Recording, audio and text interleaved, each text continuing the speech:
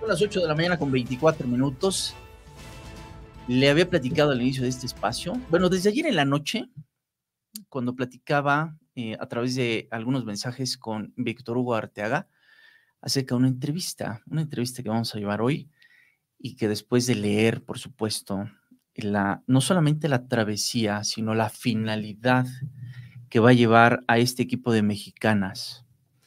Eh, híjole, hacer algo no solamente extraordinario de manera física, sino mental y por supuesto social. Estamos hablando del primer equipo de mujeres mexicanas que van a remar y que van a atravesar el Atlántico.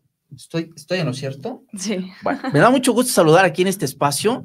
Le ofrezco, una disculpa, hablamos hace un momento, nos tardamos muchísimo con, con temas deportivos. Me da muchísimo gusto saludar en este espacio aquí en Espectro Informativo a Eugenia Méndez. Ella es integrante, le repito, de estas cuatro mujeres, son Andrea Gutiérrez. Estás, por supuesto, tú. Está Talía Trillo y Ana Lucía Valencia. Ellas, en diciembre de 2025, van a atravesar el Atlántico. ¿Y cómo lo van a hacer? De verdad, hemos visto películas, hemos leído libros, hemos, eh, ahora recientemente a través de redes sociales, se puede uno enterar acerca de, pues, de este esfuerzo sobrehumano que realizan diferentes personas, deportistas, em, que lo llevan al extremo hemos eh, leído y escuchado em, que gente sube montañas muy altas, el Everest, escaladores, eh, hay mexicanos, por supuesto, conocemos de personas que llevan medicamentos y atravesan em, kilómetros en solitario, en muchos de ellos.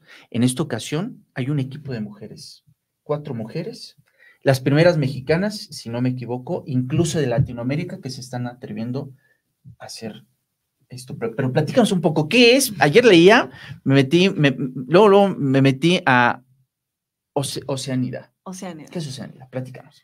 Ok, platico un poquito. Nosotros sí, rápido. Somos, somos cuatro mujeres mexicanas con una misión que es pues cruzar el Océano Atlántico. Sentimos que es como una especie de llamado que tuvimos eh, con, diría que tenemos tres objetivos con este proyecto, ¿no? Por un lado, abrir camino para las mujeres en el deporte en México, eh, ya que estamos portando la bandera mexicana, ¿no? Al hacer esto, siendo el primer equipo mexicano.